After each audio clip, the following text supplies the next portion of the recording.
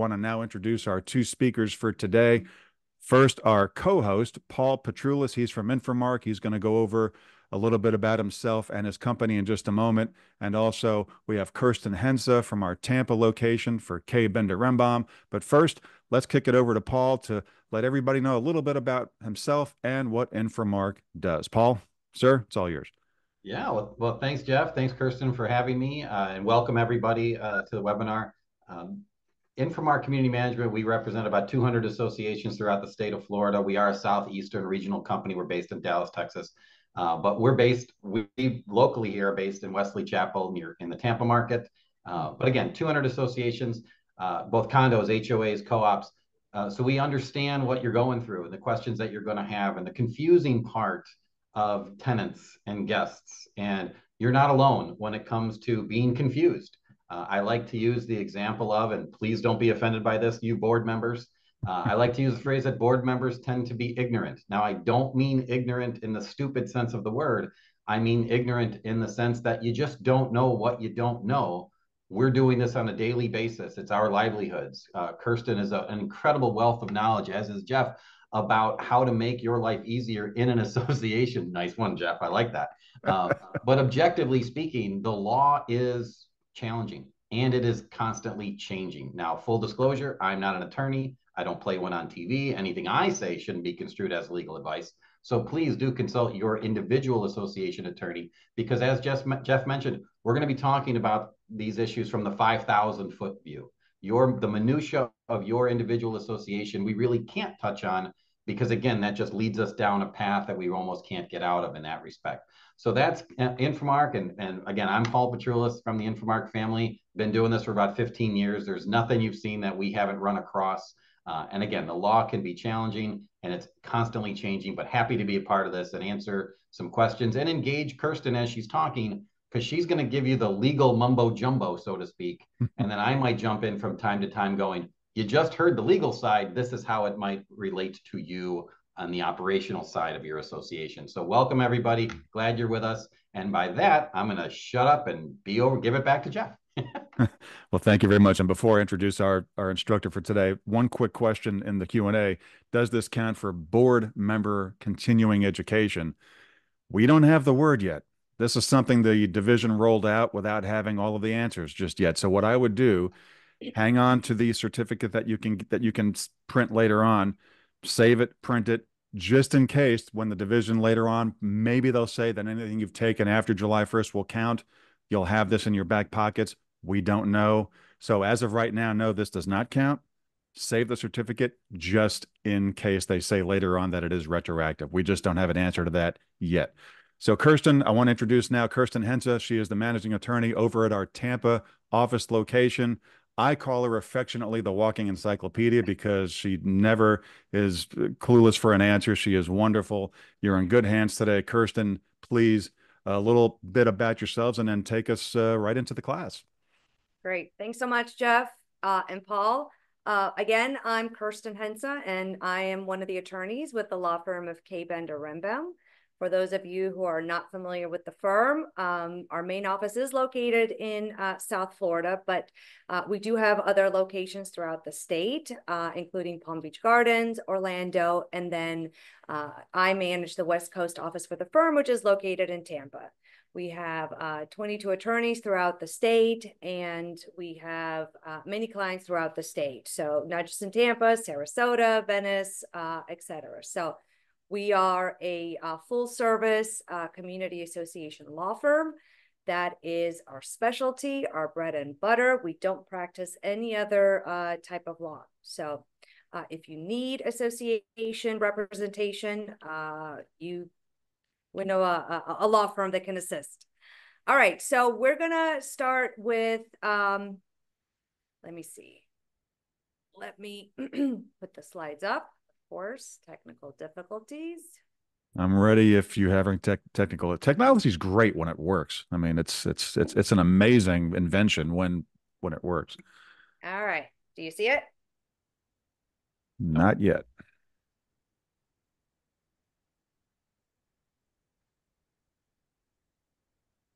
we totally need the Jeopardy theme happening. We need mm. Yeah, are we allowed to hum it without getting sued? Do you see the slide? Not yet, but I'll um do not. Do you want to put it up? You got it. There you go. I'm ready.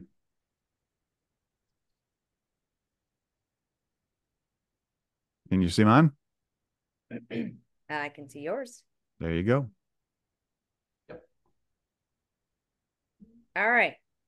so what we're going to be discussing today is the process to approve, disapprove uh, owners, new owners, tenants, and then certainly we'll talk about guests and additional occupants. Okay.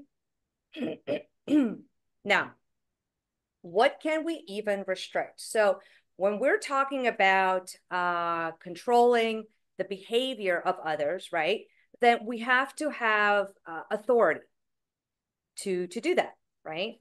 So the ability to approve or disapprove uh, purchasers, tenants, and guests, uh, it's not an issue that is uh, governed or even addressed in the Florida statute in 718 or 720. It is an issue that would be very specific to your community and it would be set forth in your governing documents. Okay. So the first thing you'll want to do is go and pull your governing documents to see what, if any, authority you have as to purchasers, uh, owners, uh, uh, tenants, and then guests. So, what are your governing documents? Well, you have at least three, right? And it would be either your declaration of condominium if you're in a condominium, or a declaration of covenants if you're in an HOA. And then you will have your articles of incorporation and bylaws. Now, hierarchy in terms of which document controls your declaration is going to be your supreme document, right? It is the contract between the association and the owners that buy into your community, right? So it is the document that is going to uh, address your use restrictions and really a lot of your authority as a board. What can you do uh, or not do with regard to uh, purchasers, tenants, and guests, okay? Now, the next uh, document in, in the line of hierarchy would be your articles of incorporation and then your bylaws. And your articles and your bylaws, they really don't address your use restrictions. They address really the, the, the corporate structure of the association. As you might be aware, the association is a not-for-profit corporation that is governed under Chapter 617 of the Florida statute, and therefore it has to have articles and bylaws. So these documents will uh, indicate, for example, who qualifies as a member in your community, who qualifies as a director, uh, how you have to run your elections, uh, what you do in the event of resignation, and it might also set forth uh, additional powers uh, and duties for the board. However, as as to the authority to approve or disapprove uh, purchasers, tenants, and guests, that has to be really in your declaration of condominium or covenants. Okay. Now, you might also have rules and regulations. A quick note about that. They do not, uh, they, they, they're not part of your governing documents. Okay. They are just what they are. They're rules and regulations, and they can uh, supplement or they can clarify uh, restrictions that you might already have in your declaration. What your rules and regulations and policies should not do is um, provide restrictions or policies that really have no authority, that you have no authority to adopt. So, uh, Paul may have mentioned already, you know, what we've often come across is that you know, co communities don't have the authority to approve or disapprove, uh, you know, certain individuals in your declaration, and then the board decides to adopt a policy giving the board that authority. That's not really going to fly if there's a legal challenge on a disapproval, right? Uh, and the reason is because in Florida, there's a three-prong test that you have to uh, that you have to really follow in order for a rule to be enforceable, right? So the first thing is that with a rule, you have to have the authority to even adopt a rule. And that authority will typically be found in your articles or in your bylaws. Assuming you have the authority to adopt rules, the next prong is that the rule or a policy cannot conflict with your declaration. So if, for example, your declaration is silent on your authority to approve or disapprove purchasers or tenants or guests, and then you go ahead and you adopt that as a policy, then clearly there's a conflict because under the law, if your documents are silent on a matter, the implication is that that matter is not restricted, right? So if you don't have authority and then you adopt authority by rule, it conflicts with your declaration. And that's where you're going to have issues in enforcement down the road when you disapprove uh, an individual. Okay. and the last prong is that the rule has to be reasonable. So your rules and your policies have to be reasonable. And ultimately, that is uh, a judgment call that a judge is really going to have to make. Now, let's say you do have uh, authority, right, as to these um, uh, individuals. Now, what are you really looking for? You're looking to confirm that you have the ability to approve certain types of individuals uh, residing in your community and that you have the right of first refusal, especially when it comes to sales and transfers. Now, I will talk about the right of first refusal uh, uh, in a few slides because that is a, a typically a, a, complicated um, a complicated uh, issue. But again, you're looking to have express authority to approve or disapprove. And typically, your disapproval would have to be for good cause. I'm sure you've already heard that term from time to time. Your disapproval has to be based on good cause criteria. And if you don't uh, disapprove based on good cause criteria, then that's where the right of first refusal comes in. Another thing that you might uh, want to look in your governing documents is confirm do you have the ability to charge for background check, uh, also known as really your application fee? Now, under uh, Chapter 718 of the Florida statute, the authority for the association to charge an application fee has to be set forth in the governing document. Again, that's not a rule or a policy that you can adopt. As, as it relates to the application fee, the statute actually specifically says your authority to uh, charge that fee has to be in your governing document. Now, with condominiums, the statute also sets a current rate, and it's currently set at $150 per applicant. Now, spouses, and then certainly uh, parent dependent child, they are considered one applicant. Okay, so you can only charge one fee for that. now, the statute has, uh, or it was changed uh, a couple of years ago to increase that fee. It was uh, initially at $100 and it was increased at 150 And it's quite possible that the statute might change in the future. So, as a practical matter, if you have the authority to charge a fee in your declaration and you have a fee set in your declaration, or if you don't have the authority to charge a fee, my suggestion is speak with your legal counsel about amending that out, amending your declaration to just give you the authority to charge an application fee in the highest amount provided by law as amended from time to time. That way, if the statute changes in the future and the fee is increased, and will only increase, then you don't have to amend your documents every time to include a new fee amount, right? The the your governing documents will just adjust uh, will adjust the uh, application fee up to the maximum amount provided under the law. So Kerstin, uh, yeah. forgive me for interrupting you there, but I can I can envision board members on this call pulling up their governing documents right now, uh, and that's a good thing.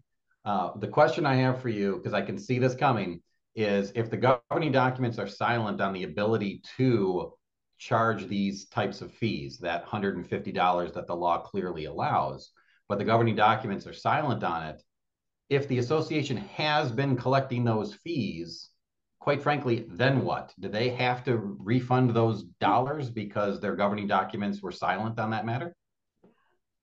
I don't know that they have to, you know, reimburse the owners, but just know that if you do request that application fee for which you have no authority to request, and the applicant, right, or the owner of the unit that's trying to rent or sell challenges it, then I think, you know, at that point you you you stop and you don't collect the fee um, you know, because otherwise, you know, you're you're you're you're obviously doing something that's that's not supported by your your governing documents, and um, just just know that that it is subject to legal challenge. So you want to try to amend as quickly as you can.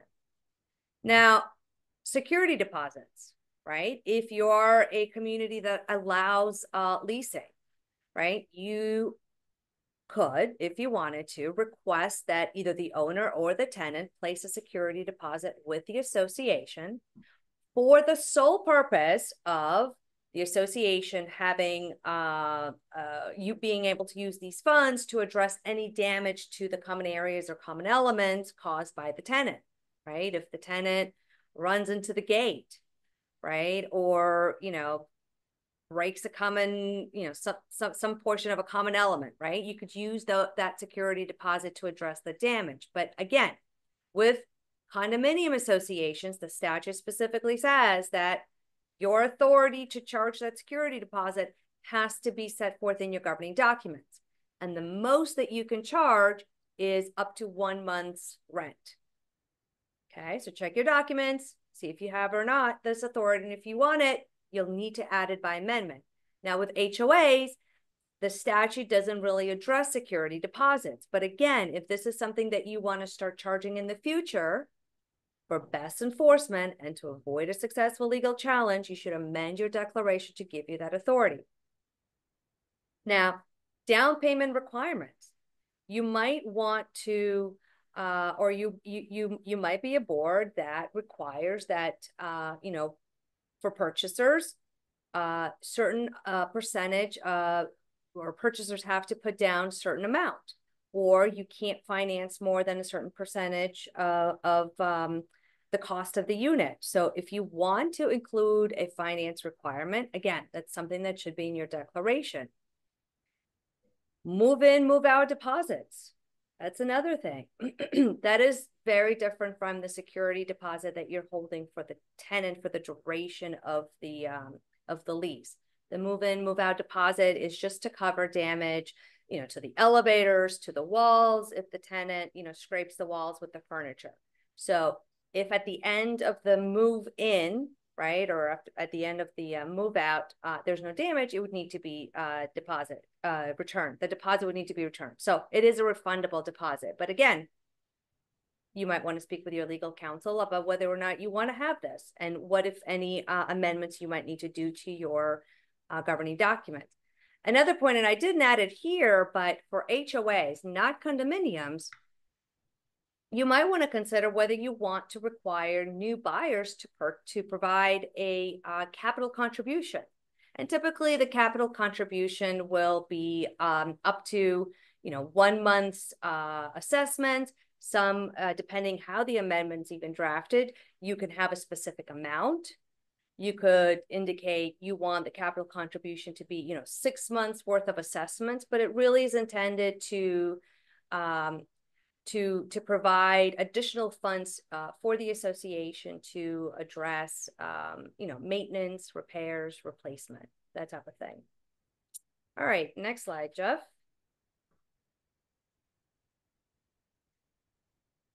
So now we talked about the authority, right? The authority to approve or disapprove certain types of individuals has to be in your governing documents. Assuming you have that authority, what transfers are subject to approval?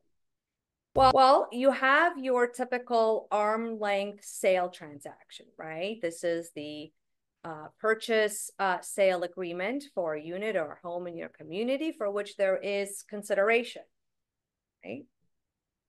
That's your typical sale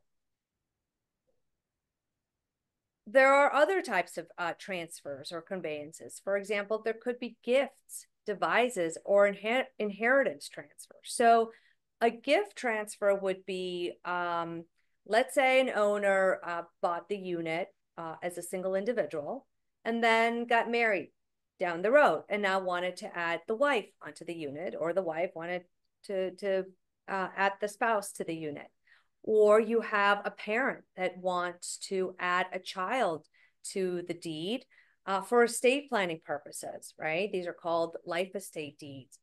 Or you want to transfer title in your unit to a trust, a revocable trust, again, for estate uh, planning purposes. Or what what if this uh, you're an owner that just inherited this unit from um, you know from from a deceased parent or a relative, right? The question to you is do you want to be able to have the authority to approve or disapprove these transfers? you might want to even look at your governing documents to see what it currently even says about these transfers. I have seen documents where these types of transfers are specifically exempted. So if a family member inherits a unit, um, then that family member can continue residing in the unit and doesn't have to go through the background check to get uh, board approval. Okay, so there could be exemptions, or you might want to add exemptions if you're amending your documents to give you the authority to approve and disapprove sales and, and leases, you might want to be the board that wants to exempt these types of conveyances. That is a board decision. Just note that ultimately, when you amend your governing documents, the membership will need to approve them, right? But how you want to prepare this amendment, what kind of authority you want to give yourself, you know, that's a board decision. Obviously, speak with your legal counsels about how to how to properly draft those amendments. What about transfers by operation of law? Well, I mean, if you are a community that allows uh, business entities to own, like limited liability companies, if that entity dissolves or if that entity merges in with another entity, and now there's a new entity owning title to the unit, right? Do you want that transfer that transaction to also be subject to board approval. What about foreclosures? Typically, if a unit is foreclosed by a lender or even the association, the purchaser at the foreclosure sale is exempt from uh, board approval. And that is because practically speaking, it's you can't screen uh, uh, an applicant at the time of the foreclosure sale, right? Right? Foreclosure sales now take place online. So there's really no mechanism in effect for that third party purchaser to buy a unit at foreclosure and then have to go through the approval process, right? So typically mortgagees and third party purchasers at foreclosures are exempt from the approval process. However, that said, I have seen governing documents that say if that mortgagee later wants to sell or lease the unit, or if that third party purchaser wants to later sell or lease the unit, that transaction is exempt from board approval. So it's up to you as a board. If you have that type of provision in your document, you might want to speak with your legal counsel about not exempting those conveyances or those transfers after the foreclosure sale, right? Because why would it need to be exempt? What about leases? okay, you might have some of the older documents that say, you know, uh, an owner can enter into a lease without board approval. Do you want to have the ability to approve or disapprove tenants? What about additional occupants and family members? Additional occupants, um, you know, typically if uh, if an owner is selling the unit or is leasing, the applicant would have to identify on the application, you know, every individual that's going to be residing with him or her while they're occupying the unit. But what about these additional occupants that move in after that initial approval was already rendered, right? Like in the example of the owner that uh, purchased the unit uh, single and then um, decided to have his spouse, right, or girlfriend, boyfriend move in. Uh, not necessarily added to the deed, they're just occupying the unit with them. You know, that's an additional occupant.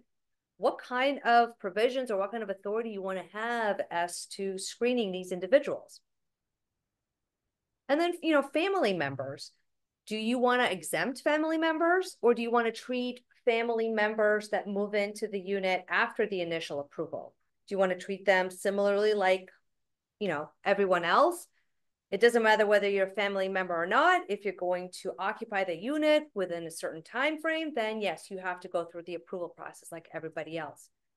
Some communities, I can tell you, some of our clients prefer to exempt family members.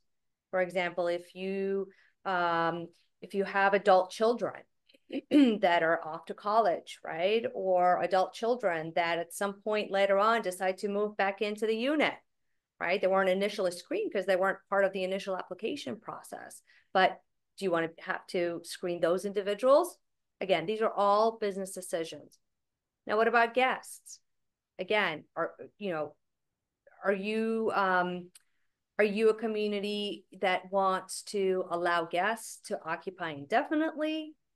Or do you want to restrict occupancy for a certain period? Does it matter whether you uh, whether the guest occupies the unit with the owner or tenant present or in their absence? So these are just some of the questions that um, I'm raising for you to think about as you're reviewing the document, right?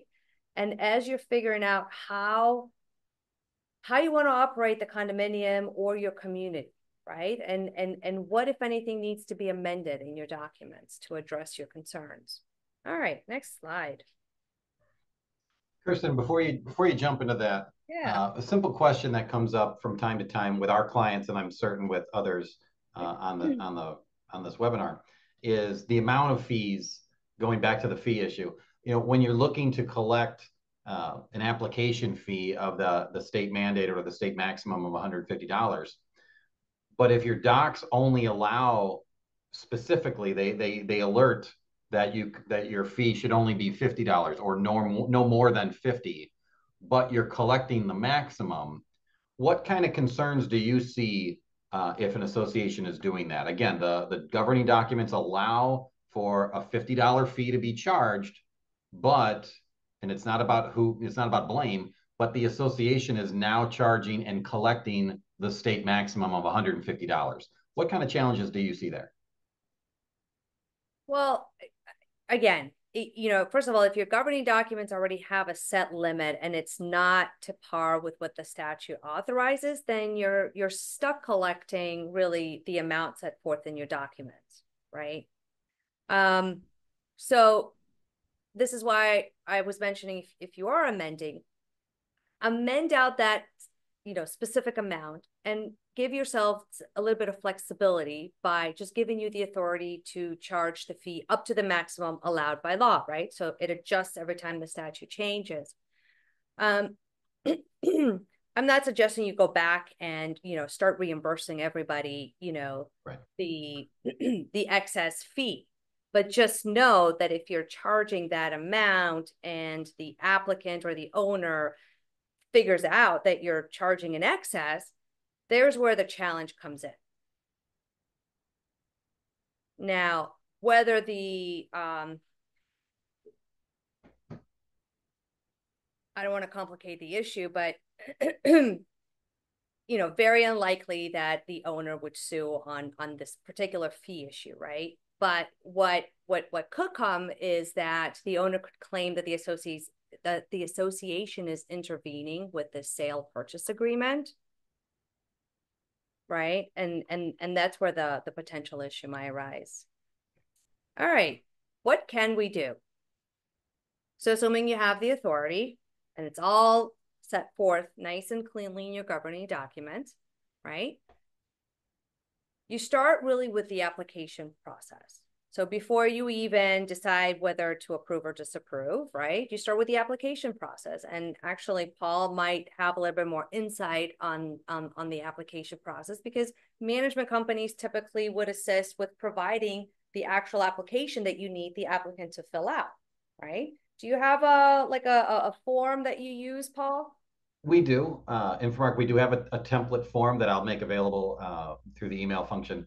Uh, and the, the key for that is a level of consistency, right? If the association does not have one and you have the ability to get one, absolutely get one. Don't rely on someone to make one up because uh, there are certain specific things that you need to ask in those applications. But yes, we offer that to our clients uh, as a template for them to review uh, and then formally approve for us to use on their behalf. Right. So a typical application will require the applicant to provide their name, identify uh, typically all other occupants that would be residing in the uh, on the property, as well as provide um, uh, some some references, And then typically an application will also include a uh, criminal and a background check form that they would need to sign in order for the association or management to run the background check. And you won't be able to do it without the applicant signing that form. And then very important with the application is that there, there are timelines within which you have to render a decision. Okay. And that timeline should be in your governing documents. So generally, I've seen that a board has to approve or disapprove an application within 30 days after you've received the completed application, the fee, and then any additional information that you might need to render a decision. But I have also seen governing documents that have provided only for 10 days, right? So it really just depends on your documents. Now, the important thing is if you miss that deadline, your documents might say that if you don't render an approval or disapproval within that time frame, the application is deemed approved. So you don't want to be in that situation, right? So check your timeline. So let's say the application um, uh, was completed, you've reviewed it, now what? Okay, well, really you have two choices, right? You either approve the transaction or you disapprove the transaction. And you will approve the transaction if everything on the application uh, indicates that the applicant is um, um, uh, qualifies under your governing documents, right? So what it means to qualify, well, this is where the good cause criteria come in, right? We mentioned that earlier.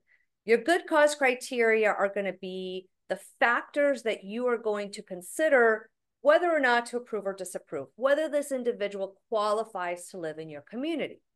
So I've identified here some of the more common good cause criteria. For example, it could be uh, negative criminal history, uh, negative financial history. If the applicant on the face has indicated an intent to violate your governing documents, and that could be, for example, if you are a no pet community and the individual has clearly indicated that he or she has two pets, right? That's an intent to violate. So that could be a basis for you to disapprove that application. Uh, there could be false or misleading uh, information included on the application. That is a basis to disapprove. Now, I want to go back to criminal history because criminal history is a tricky one, and I'm sure Paul, you've uh, you've had experiences with that. But I just want to note that with, with criminal history, a misdemeanor is not enough to disapprove.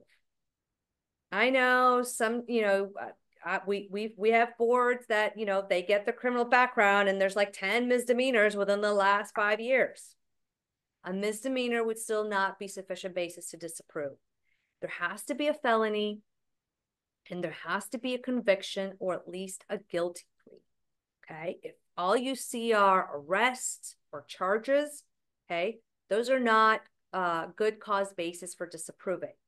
So with criminal history, you want to consider the nature, the um, the severity of the offense, how long the offense occurred, and then any rehabilitation efforts, right? With financial history, yes, if you have documentary authority to approve or disapprove uh, sales and leases, then you have the authority to adopt a minimum uh, credit score requirement, right? And typically, when we amend governing documents, we don't specifically identify the credit score requirement in the declaration, right? I would never recommend that you uh, add an amendment to your declaration to say, you know, purchasers have to have a minimum credit score of 650 uh, to qualify uh, for residency in this community because if market conditions change and the board later wants to increase or decrease that uh, um, that credit score, then you're stuck having to actually amend the declaration and get membership approval. So the better approach is uh, to amend the documents to give you the authority to adopt a, a, credit score requirement, and then have the board adopt the credit score requirement as a rule or a policy. That way you can change um, the, the, uh, the, the minimum credit score with depending on market conditions. But I also want to point out let's not get too fixated on this minimum credit score, especially when we're talking about, you know, tenants and then additional occupants, right? Because remember, at the end of the day, the owner is still responsible for the unit, right? And any monetary obligations owed to the association. So if the tenant, uh, if the tenant's application checks out, and the only thing that you you're on the fence about is their their credit score might not be the best, um, you know, might not be not might not be um uh, a good thing to disapprove that particular application. So you really need to look at the totality of the application, especially when you're um, considering financials. Kerstin, uh, real quickly regarding the financial requirement and the application process, and I've seen this in other associations. When an application is submitted and the background check and the, the financial history, which is effectively the credit report by itself, is received, there are times where communities want additional information, but the governing documents might be silent on anything other than a credit report is there a is there a mechanism or a process that you feel that you might deem from the legal side that's appropriate to request other financial documents whether it's a, a financial disclosure for the homeowner or I'm sorry the tenant or the, the resident or even banks or uh, uh, tax documents Um, especially with old, and I've seen this with older documents. Uh, while they might not have the best language, I've actually seen where uh, the documents say that the association has um, um, gives them basically the authority to approve additional information. So it'll say the applicant has to provide uh, the application and such other information as may be required by the board. But I, I think if you have the ultimate authority to approve or disapprove in your declaration, I think that gives you sufficient basis to then request any additional documentation or information that you might need in order to make um, a decision, right? Because how else would you would you make a decision? So rather than disapproving initially, request that additional information. So we've talked about approving and then we've talked about disapproving for good cause, right? So if if you find that based on the totality of the application, this individual just does not qualify to reside in the community, then you would issue a disapproval letter. And again, you would issue that disapproval letter within the time frame set forth in your declaration. Now you want to be careful of how you word that disapproval because one thing I'll mention in the next slide is that any information that the association obtains uh, through the sale lease approval process must remain confidential. So you don't want to start putting on that uh, disapproval letter. We disapproved the applicant because and start, you know, identifying the basis with a lot of specificity. The best approach is to send a, a disapproval letter that simply says, you know, the applicant, we're, the board is disapproving uh, because the applicant failed to qualify under the governing documents. Okay, and then we'll talk about uh, the notification requirements in the, in the next slide. Now, let's say you disapprove for reasons other than good cause. And as I mentioned, for example, criminal is, is a common one where sometimes boards see a lot of arrests, a lot of charges, but they're not convictions but still decide, you know what, we just don't want this individual residing in our community. so you've issued a disapproval letter. One thing to note is that the applicant does not have standing to challenge the disapproval. It is the owner. So let's say in this example, the owner hires an attorney and sends you a letter and says, hey, you're dis- you've disapproved the applicant for reasons other than good cause. All this individual has is arrests and charges. There's no conviction. This is not a good uh, cause basis for disapproval. That attorney might then demand that you exercise a right of first refusal. And that means that you then have to provide an alternate purchaser to purchase the unit under the same terms and conditions as the initial uh, contract. Okay. And the reason is because in Florida, okay, if the association wants to have the ability to approve or disapprove sales or transfers of title, Okay. It has to have a corresponding right to then exercise the right of first refusal and then provide an alternate purchaser if they disapprove for reasons other than good cause. So, and I know it's a lot, but your governing documents should be drafted in a way that the right of first refusal language is already incorporated in your declaration. And if you don't have right of first refusal language in, in, in your declaration, then that whole sale transfer uh, approval provision is essentially uh, void and invalid because it's it violates Florida law. Okay, and that's law that's not going to be in the statute. You're not going to find it in the statute. That's law that's derived from case law. Okay, so you want to make sure if you're adding authority to your governing documents to approve or disapprove sales and transfers, that your attorney properly drafts that amendment to comply with Florida law. Now, right of first refusal only applies to sales and transfers. It does not apply to leases and other types of occupancy. So, what I have seen over the years is some of the older documents might uh, provide a right of first refusal um, authority as to leases. And if you have that type of document, then you're going to have to exercise right of first refusal as to leases. So if you don't want to do that, then the best thing to do is amend that out of your declaration. All right, next slide. All right, so just quickly, potential liability, right? So first thing is you can never disapprove a sale or a lease or occupancy uh, based on uh, a protected class, right? So under fair housing laws, protected classes include race, national origin, familial status, sexual orientation, mar marital status, and there's others.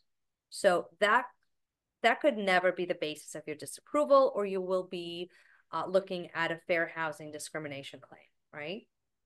Also, disability based in accommodation or modification. So let's say this uh, owner is applying to uh, reside in your community, right? And you're no pet building. Well, the applicant uh, indicated on the application that the applicant has an emotional support animal. Okay.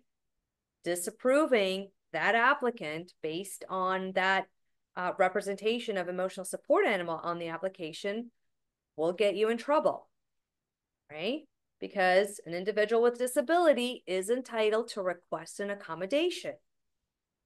So if they're seeking to have an emotional support animal also live with them in, in the community, then the best approach is that you follow fair housing guidelines okay, to get whatever information you need to make a decision as to whether that individual qualifies to have an emotional support animal. In the example, for example, where the owner is uh, or the applicant is clearly in a wheelchair, right? And uh, or is blind, right? And needs uh, an emotional support animal or needs a service animal, where that disability is very visible, right? You don't have the authority to request any additional information. That's it. You have to grant. And and by the way, we have other uh, webinars that we teach specifically on on fair housing, um, uh, fair housing laws, and and requests for accommodation. But if, for example, you have someone who the disability is not readily apparent, but they're saying they need an emotional support animal, that's a situation where you might be able to request additional information in order to make a decision. And the same thing with modifications. Modifications are uh, if an applicant, for example, would like to make a modification to the common element, right? Because he has a or she has a disability. So if the individual is um, in a wheelchair and needs to add a ramp, they're, they're buying a unit, but they need to add a ramp in order to be able to get in and out of the unit. That is a modification right? You can't deny an application based on their request. So just be aware of that. All right, and then notification requirements in the declaration. I, I mentioned this already. Again, you want to make sure that you comply with the deadlines that are set forth in the declaration. Or that application will be deemed approved. You want to make sure that you properly notify um, the owner of the disapproval, right? You don't want necessarily to put, you know, all the specific basis for disapproval because, as I mm-hmm. mentioned here, under Fair Credit Reporting Act and Florida statute, both 720 and 718, any information that you obtain in connection with the sale, lease, or transfer application must remain confidential. So the background check, the application itself, if they've provided tax returns or uh, pay stubs, uh, copies of driver's license or security numbers, all of that has to remain confidential. And guess what? Neither the owner nor the applicant is entitled to receive a copy of the background uh, report, whether it's the criminal or the um, uh, or the credit report. So if you're going to disapprove, you have to include in your disapproval letter, okay, the name and the contact information of the reporting company, the reporting entity that ran the background check. And you have to give that information to uh, the, the owner and the applicant so that the applicant can then contact that uh, entity and then dispute any information on the report directly with them. All right, next slide. All right, and then guest occupants and additional occupants, right? These are individuals that uh, come and occupy the property after the initial uh, approval has been rendered, right? So again, I you you you know things for you to think about. You know, how do you define a guest? How long does this individual have to uh, live in your community before they uh, are considered a resident or an occupant? How long do they have to reside in your community before they are required to um, to to get a, a board approval for continued occupancy? So you might want to draft your amendment to say that after a certain period of occupancy, they're deemed a tenant, right? And then they have to go through the application process like a tenant and get approval mentioned immediate family members. Do you want to add them to the same requirement or do you want to get them exempt? Maybe guest occupants have to reside in your community for no more than 60 days or 30 days before they're required to get board approval, but immediate families can live for up to 90 days without having to get board approval. Right? That's up to you. Occupancy limitations. How many uh, permitted occupants who are not owners are allowed to reside in your community? Is that even addressed in your documents? Maybe you want to address that. What is the duration of permitted occupancies? Like I just mentioned. What about registration requirements? Do they have to register with the association in advance if they're not um, if they are not required to get uh, prior board approval? What about um, overnight non-overnight guests and use of facilities? Right? Just things for you to think about. Next slide, Jeff. All right, some practical considerations, and then we're going to wrap this up.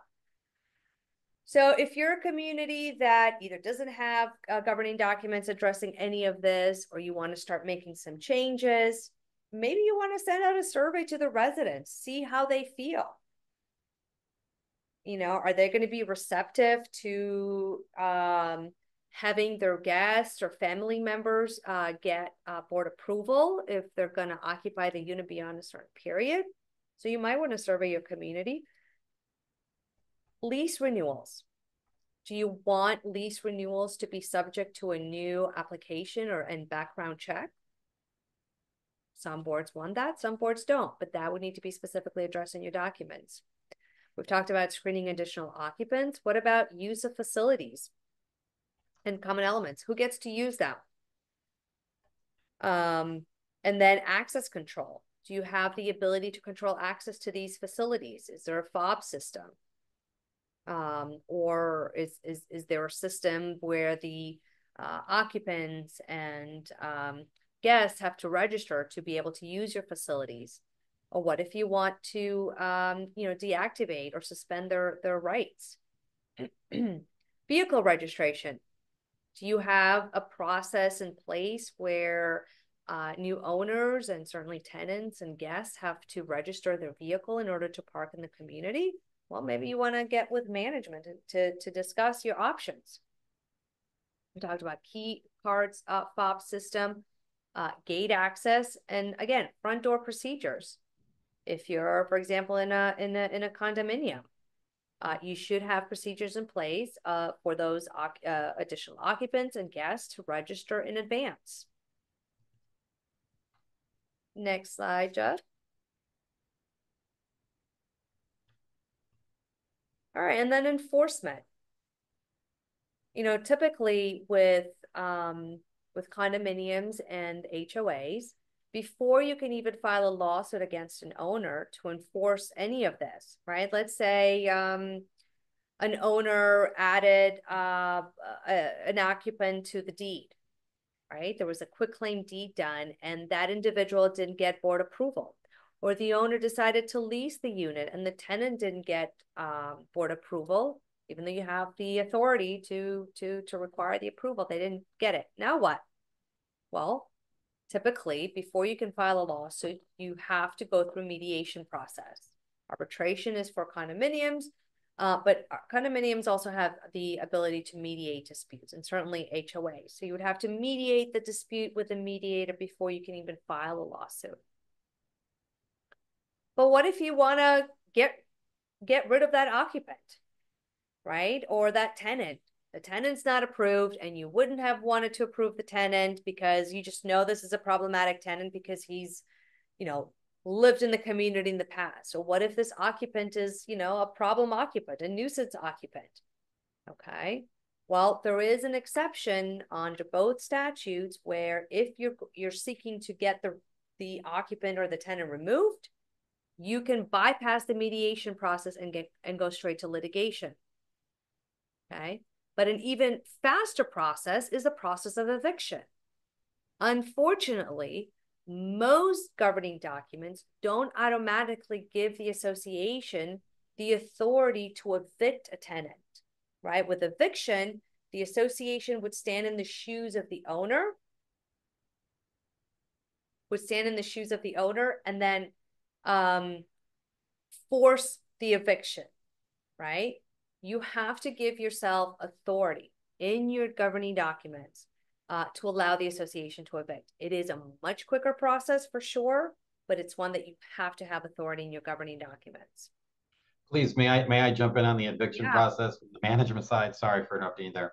Uh, Kerstin is mentioning that it's a fast process. That can mean a bunch of different things. Yes, it is faster than arbitration and litigation, but please do not be under the assumption that you can evict somebody in a couple of weeks, right? It's it's it doesn't work that fast, so to speak. Yes, you do need Not to take the steps yeah. from the legal perspective to do it.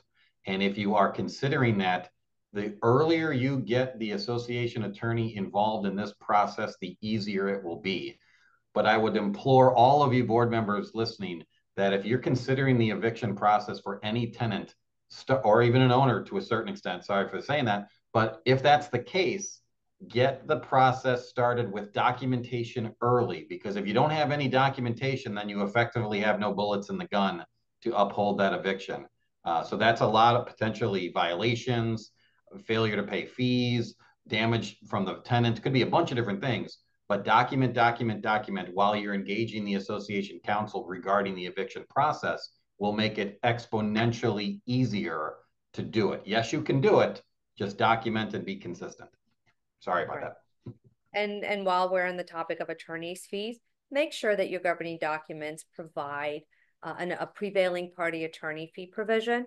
Not all documents do. And if you do end up in arbitration or if you do end up in litigation and you are the prevailing party, the party that wins, you want to be able to get recovery of your fees against the violating owner, right? So make sure you have language that that gives you that ability, that protection. All right, last slide, and then we'll go to the Q&A. So in conclusion, what did we learn today? We talked about confirming and creating authority, right, with regards to sales, leases, and occupancy. Talked about establishing procedures and proper documentation. You must act uniformly and consistently, right? And Paul mentioned that. That is so important.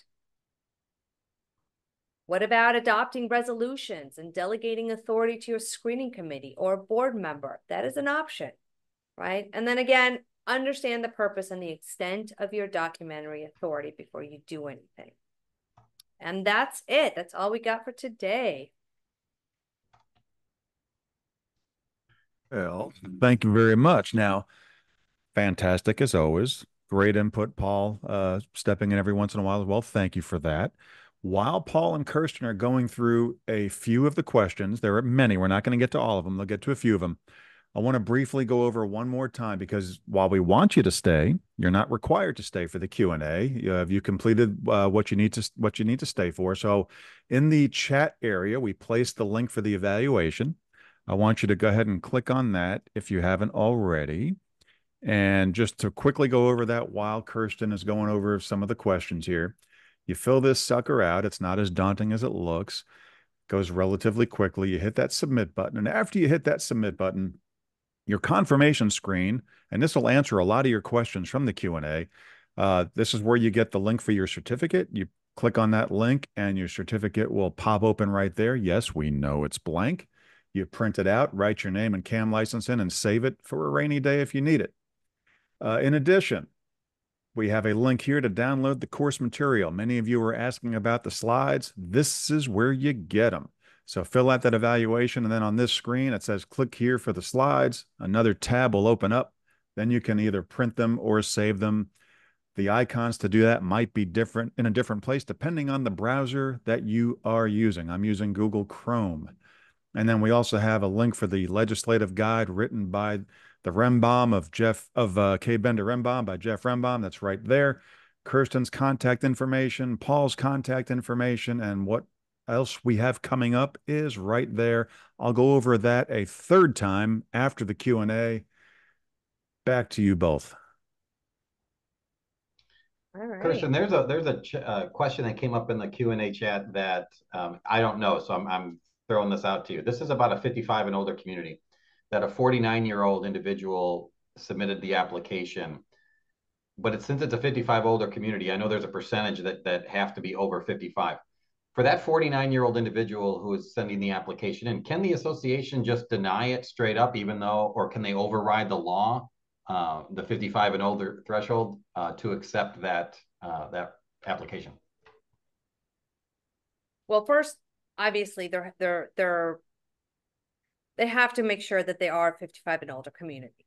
Sometimes communities think that and that that's not necessarily the case. So definitely get with legal counsel to make sure that you have met all the requirements to qualify as a housing for older persons. The other point is, I'm not sure in this scenario whether the 49 year old is applying to purchase the unit or just to occupy uh, the property, right? Because they're two two different things. The 49 year old can own the property in a 55 and older community. It's just the occupancy. If that individual wants to occupy the property, they have to do it with someone who's at least 55 and older. So the age restriction is not to the as to the ownership of the unit, rather the occupancy right? And you're right, there there is a, a 20 80 percentage, but that that that 20% is really supposed to be for situations where, for example, you have um, you know, a couple, one of the spouses is a younger spouse and they've lived in that uh, on the property for years and the older spouse dies right as long as the occupancy of that underage adult occupant doesn't exceed the 80 20 threshold that's where you can grant the exemption. And that person clarified it's a purchase for a, for the for, for the 49 year old themselves. Um, well, they can purchase it. They just need to clarify with the purchaser that they need to occupy the unit with someone that's at least 55 and older. Yeah. Another question that I was actually going to ask, I saw it pop up in the in the chat, was it's about the discussion of a board of the board with this application information that's submitted, background checks, financials, any of that stuff, you know, those modification requests. When the board discusses that, is that is it okay to do it in a closed session or does that discussion because you're potentially dealing with private information does that does that discussion have to happen in an open session or can that be in a closed session Well, as long as the board is not making any decisions at the time of discussion, I mean, certainly less than a quorum of the board can meet to discuss that application and the specifics without having to notice the meeting. I would say if a quorum of the board is going to get together to discuss the application, um, as long as they're not making any decisions, rather just kind of, you know, a workshop meeting, right?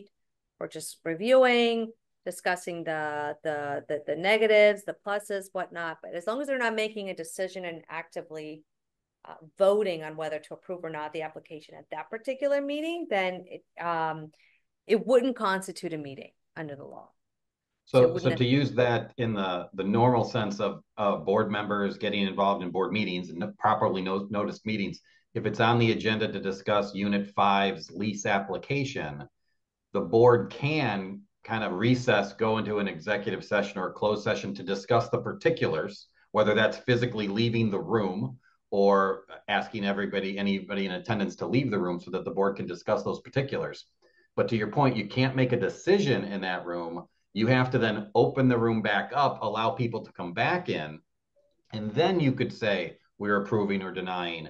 Um, but as I understand it, to discuss those those individual pieces, it can be done, but it needs to be done in the closed session part of it, as long as you're not making a decision.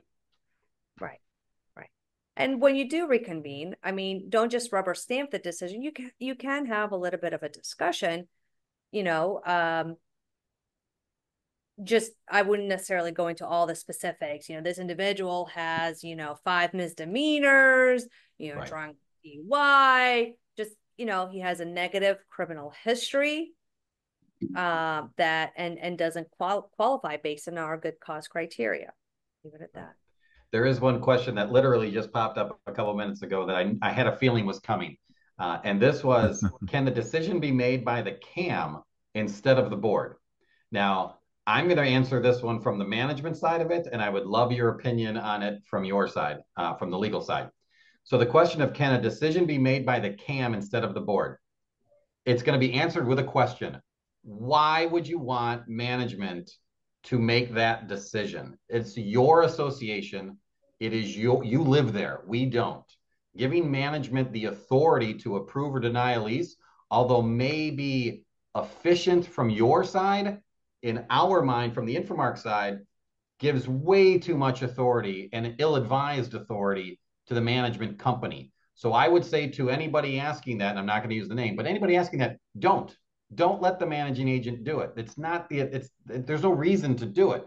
That's why you're on the board or that committee. That decision is yours, not management. How do you feel about that, Kerstin? Yeah, I agree 100%. I, I mean, I think, yes, management can certainly uh, review and run the background um, application and, you know, can make their um, recommendations. suggestion. Right, suggestions, right. Like these are your criteria based on what I've reviewed. This individual has XYZ in the criminal history. This is their uh, financial kind of laid out for the board. But you're right. Ultimately, the board has to make that business decision. Uh, we do have uh, one question that popped up. Can the this is about security deposits? Can the security deposit be used to pay the maintenance fees if the owner stops paying the maintenance fees? No, absolutely not. For 718, the statute specifically says what it can be applied for, and it's really just to cover any damage to the common elements or association property. Now, um, if there's an issue with the owner um potential with the with the with the credit report and you um you have a fee or you you have a um, a basis to believe that um you know perhaps their their financials might affect their ability to pay association assessments there are ways that you can request the owner to pay let's say 6 months worth of assessments up front right there's a mechanism you know, might require an amendment in a policy, but it's an option in that particular situation. So piggybacking on that question of letting management make that decision, another one popped up of, well, what about just letting the board president do it? So here comes management's perspective, legal perspective. should the board president be allowed to make those decisions, approve or deny you deny these lease applications or these purchase applications effectively unilaterally? From a management's perspective, the answer isn't no. It's hell no. Excuse me for saying that, but it's hmm. hell no for the for the same reason. The authority rests with the board itself, not with an individual. And this is where, respectfully to all those board members out there, this is where rogue board members tend to get in trouble going off that beaten path. From a management's perspective, it is really hard to work with because that board member might have just told the homeowner, yep, it's approved, with nothing behind it to support the authority given to the president itself. It's the board that makes those decisions. So if you have a board member who's making those unilateral decisions, I would implore you have the association attorney contact that board member and tell him to stop it. It can only get you potential problems down the road. Doesn't mean it's going to happen today, but down the road, those rogue board member decisions only cause problems. They don't solve anything. Would you agree or disagree with that, Kerstin? Couldn't have said it better myself. the hell no part. Sorry, just had I had to do that. And and the reason I'm I'm so enthusiastic about that type of an answer, Kerstin and and and everybody on the on the on the the feed is because we see this on a day to day basis. We've all seen the internet and we've seen news reports of this board member did this or this, they did that or whatever it might be. And then you've got management going, if they just would do it as a group, they can still deny and they can still accept. But because we're trying to be nice people, we're going to get that information out, that answer quick. Oh, yeah, Mrs. Smith, go ahead, do it.